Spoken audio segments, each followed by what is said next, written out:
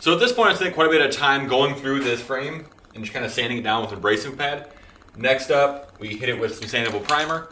Uh, once that's dry, hit it, smooth it down really quickly, uh, and then get our color on there, get it sealed, and keep moving along the car. So I've noticed after the last little while of actually working on this frame that I really love the abrasive wheel. This tool is something that everybody needs if you're going to do any kind of metal work at all. So these wheels are not overly cheap, but they definitely help. Um, while I did use a flap wheel here on this, uh, here and there, I really only used it to kind of get the hard spots to reach with the abrasive wheel.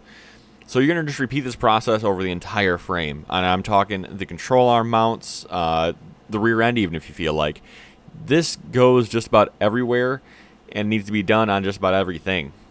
So once it's knocked down to bare metal and basically light rust, we can come at it with a uh, X-O Rust primer is what we have here. We'll see we're wiping it down with acetone as well before that, just to make sure it's nice. So a Rust-Oleum or X-O Rust primer is really what you want here. You want something you, that's kind of a high build that you can sand back down to make it look nice and pretty just like this. That's really what you're after, is a nice sheen, nice gloss, something that you can be really proud of. If you guys like what you're seeing here, be sure to subscribe. Have a good one, and I will see you on the road.